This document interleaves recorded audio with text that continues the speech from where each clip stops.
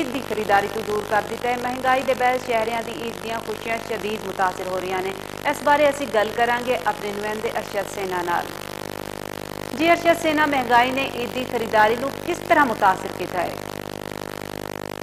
ਜੀ ਪੂਰੇ ਪਾਕਿਸਤਾਨ ਦੀ ਤਰ੍ਹਾਂ ਸਰਾ ਆਲਮਗੀਰ ਵਿੱਚ ਵੀ ਈਦ ਦੀ ਖਰੀਦਦਾਰੀ ਦਾ ਸਿਲਸਿਲਾ ਜਾਰੀ ਹੈ ਲੇਕਿਨ ਅਸੀਂ ਇਹ ਦੇਖ ਰਹੇ ਹਾਂ ਕਿ ਜਿਸ ਤਰ੍ਹਾਂ ਈਦ ਦੀ ਖਰੀਦਦਾਰੀ ਹੁੰਦੀ ਸੀ ਇਸ ਦਫਾ ਉਹ ਈਦ ਦੀ ਖਰੀਦਦਾਰੀ ਨਹੀਂ ਹੋ ਰਹੀ ਜਿਹਦੀ ਸਭ ਤੋਂ ਵੱਡੀ ਤੇ ਅਹਿਮ ਵਜ੍ਹਾ ਜਿਹੜੀ ਕਿ ਇੱਥੇ ਦੇ ਗਾਹਕ ਤੇ ਦੁਕਾਨਦਾਰ ਦੱਸ ਰਹੇ ਨੇ ਉਹ ਮਹਿੰਗਾਈ ਹੈ ਦੁਕਾਨਦਾਰ ਤੇ ਗਾਹਕ ਦਾ ਇਹ ਕਹਿਣਾ ਹੈ ਕਿ ਮਹਿੰਗਾਈ ਨੇ ਹਾਲੀਆ ਮਹਿੰਗਾਈ ਨੇ ਸਾਨੂੰ ਕਾਫੀ ਹੱਦ ਤੱਕ ਮੁਤਾਸਰ ਕੀਤਾ ਹੈ ਤੇ ਈਦ ਦੀ ਖਰੀਦਦਾਰੀ ਤੋਂ ਕਾਸਰ ਕਰਕੇ ਰੱਖ ਦਿੱਤਾ ਹੈ ਅਸੀਂ ਦੇਖ ਰਹੇ ਹਾਂ ਕਿ ਇਸ ਵਕਤ ਅ, ਸਰਾਏ ਆਲਮਗੀਰ ਦੀਆਂ ਜ਼ਿਆਦਾਤਰ ਦੁਕਾਨਾਂ ਤੇ ਮਾਰਕੀਟਾਂ ਜਿਹੜੀਆਂ ਵੀਰਾਨ ਵੀਰਾਨ ਨਜ਼ਰ ਆ ਰਹੀਆਂ ਨੇ। ਜਿਹਦੀ ਮੇਨ ਵਜ੍ਹਾ ਇਹ ਹੈ ਕਿ ਖਰੀਦਦਾਰ ਜਿਹੜਾ ਵਾ, ਉਹ ਇੱਕਾ ਦੁਕਾ ਸਾਨੂੰ ਜਿਹੜਾ ਨਾ ਇਹਦਾ ਨਜ਼ਰ ਆ ਰਿਹਾ ਹੈ। ਉਹਦੀ ਮੇਨ ਵਜ੍ਹਾ ਇਹ ਹੈ ਕਿ ਮਹਿੰਗਾਈ ਹੈ। ਮਹਿੰਗਾਈ ਨੇ ਖਰੀਦਾਰਾਂ ਨੂੰ, ਦੁਕਾਨਦਾਰਾਂ ਤੋਂ ਕਾਫੀ ਹੱਦ ਤੱਕ ਮੁਤਾਸਰ ਕਰਕੇ ਤੇ ਦੂਰ ਕਰਕੇ ਰੱਖ ਦਿੱਤਾ ਹੈ।